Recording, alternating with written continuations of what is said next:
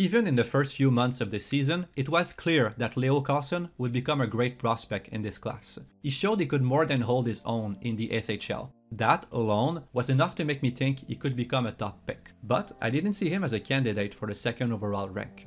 Until he played a few games against his age group in November. This play made me see him in a completely different light.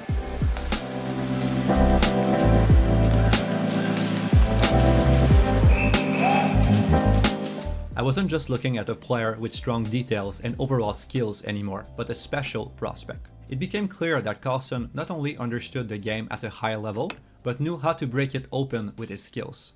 Yes, the dangle is pretty amazing in that play, but the setup is equally good. He gets the puck on the breakout, looks around, and sees no real option. Instead of dumping a pass to a covered teammate, he skates ahead, attracts both opponents on himself, creates a lane to his teammate, and uses him for a give and go to beat pressure. He receives this next puck in crossovers, builds up speed, anticipates the poke check, and slides right through the defenders, before beating the goalie by lifting the puck instantly on his first touch the other way. Of course, he had space here. The defense didn't react very well to him, but that's just the point. This is junior hockey. This kind of setting puts Carlsson's skills in perspective. Imagine the plays he would make if he played in the USHL or the J20 League, like other prospects. There's just not much missing in his toolkit. Sure, he doesn't have the best skating posture, it's a bit wide and sometimes he's a little too upright when he strides. Because of this, he can't make deep explosive cutbacks, like some other players in this draft. But honestly, these flaws won't matter too much at the NHL level. The rest of his abilities are just too great. These are the grades projections we gave him this season. In a few years, in his prime, we project that most of his abilities will become high-end in the NHL. But what makes Carlsson so effective is not one single ability, but how they all work together to allow him to beat pressure and make plays. No matter what the defense throws at him, he seems to always find a solution, as he can play multiple different style of games. Because of his quick hands and processing speed, he can outmaneuver the defense. He can slide pucks under or around opponents and find it back even in heavy traffic. Leo And he has these great toe drag moves that seem so easy and precise, like he has practiced them thousands of times. But his best moves are the ones he prepares ahead of time, before he even gets the puck. Watch him cut inside and pull the puck back here on his first touch. Leo Carlsson här, kolla Carlsson! Oj, han kommer långt! He planned that move. He wants to freeze the defender to move around him and get to the net. And same here, Carlsson knows he will get this puck under pressure, so he fakes shots to bait the poke check. He drags the puck in his feet and evades the defender. But what you have to understand is that Carlsson is not this high-event playmaker. He's not Will Smith. He's more reserved in his choices of plays. He mostly only pulls off these stick handling moves when it's the right time, the right choice against the defense. With the way he plays, he shows that it's possible to be both creative and efficient. He manages the puck well overall, and it's why he earned a top spot in the SHL at such a young age. So while Carlsson can dangle just as well as some of the other top prospects in the draft, you won't find a collection of a hundred different moves from him over the course of the season. And it's the same story with his playmaking game. He's more of an effective playmaker than a flashy one. He makes short, efficient, and deceptive passes that advance the play.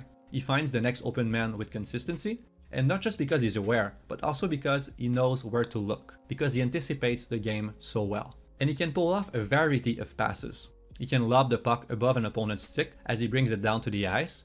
Leo Carlsson får med sig Berglund är borta, Berglund! Örebro gör 5-3! and thread a pass between the stick and a skate to a teammate in the slot. He moves the puck quickly and precisely, with soft hands. And just like in his dangles, he makes sure to attract and freeze defenders before pulling the trigger on his moves. Och Leo Carlsson. Holm. Abols. Leo Carlsson! Oj, oj, oj! Oj, oj, oj, oj! The reason we're so confident in his projection is that Carlsson always seems to be in tune with the game. He's not rushing himself or trying to slow down the play. He knows what's going to happen next and when it's going to happen. He knows the position of defenders and teammates and how much time he has with the puck to make a play. Alldeles för mycket skvätt från Karlsson där, fint de gör det och då är det 2-0 Örebro! Because it's subtle, Carlsson's hockey sense doesn't shine as bright as it should, but it's high-end, close to elite even. You see it in his play with the puck, but also in how he attacks away from it. He anticipates the movement of teammates and gets open for them in the right spot. And he has many techniques to lose his coverage and connect with teammates. He uses give and goes, like here, to go from the back wall to open in front of the net, and he dances with defenders. Carlsson borrows some techniques from strikers in football in these clips. He fakes a run on one side of a defender's body. As the opponent's turn, he quickly attacks the other side. That way, he frees himself for a second, just long enough to try and get his stick on the puck. Eh, Öberg. Karlsson! But while Carlsson's hockey sense shows up in more subtle ways, like this, it doesn't mean that he's a subtle player at all. If he sees an opening, he charges through. Leo Carlsson. Kommer insida, kommer till avslutet. He's not shy about using a 6 foot 3 size, and that size, in combination with his hands, makes him a great net driver. They play their big guys, Denmark does, and the Swedes pretty much rotate their lines. believe that was Thomas Montan who was in the middle of that group that we just had a look at. There's a chance in front for Carl. Although he's not as much of a grinder as Adam Fantilli, there are many power forward elements to his game. He can forecheck, hit, and create loose pucks that his team can capitalize on. He can skate after pucks dumped in in the zone and seal them from the position with his body. He can move those pucks off the wall with short passes to teammates inside space, and he also makes these little physical plays that coaches love in the NHL, like moving the puck low to high before rushing the net to get his stick on shots coming from the point. Tillsammans med hans dåvarande kedjekompis eh, Filip Bystedt i Linköping med tröja nummer 25. Inne på isen båda de herrarna samtidigt när vi har 1-0! Carlsson's tracking data confirms our eye test evaluation. Compared to other recent top prospects who played in the SHL, he was much better at generating offense from the boards and at passing the puck in transition. He also attempted more slot passes per 60 and completed a lot of them. His passing game and precise rotations, his size and physical abilities are all reasons to think he could become an effective center in the NHL, even if he played on the wing this season. At the World Championship, where he did play center, we saw him move down low and support his defensemen well overall. He created some breakouts with his frame and stick handling ability, and he rushed the puck up ice himself by taking advantage of the space in the middle. Carlsson might not have a lot of pure speed, but given a runway of space like this, he can break through defenses with his skating. Ja, bra spelat på Leo Carlsson som bryter sig fram. Han är skicklig. Och här i mitten Oskarsson. Och Örebro gör 3-2! He goes into crossovers and inserts little hesitation moves to freeze defenders and move around them.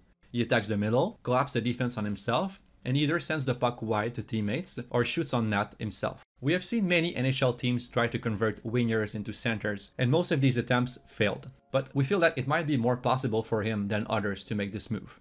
If he can improve his defensive reads and timing away from the puck, especially as he comes back in his zone, and if he can improve his speed a bit, his game will fit the center position well.